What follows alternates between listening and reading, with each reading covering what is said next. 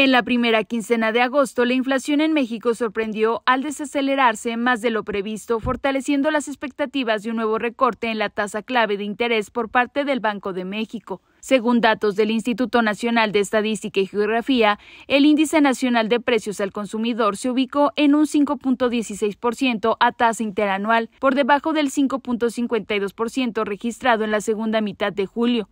Esta cifra estuvo por debajo de las expectativas de los analistas que anticipaban una tasa del 5.31% según un sondeo de Reuters. En cuanto a la inflación subyacente que elimina productos de alta volatilidad, descendió a 3.98%, situándose por primera vez desde 2021 dentro del rango de la meta oficial de un 3% más menos un punto porcentual. La desaceleración de la inflación en la primera quincena de agosto generó especulaciones sobre la posibilidad de un nuevo recorte en la tasa clave de interés.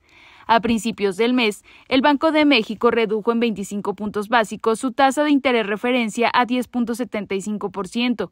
Aunque la decisión fue tomada de manera dividida, la Junta de Gobierno señaló que el entorno inflacionario podría permitir discutir una mayor flexibilización monetaria en el futuro. Durante esta quincena se observaron incrementos en rubros como la gasolina de bajo octanaje, la electricidad y el huevo, mientras que productos como el chayote, el transporte aéreo y el jitomate registraron descensos en sus precios.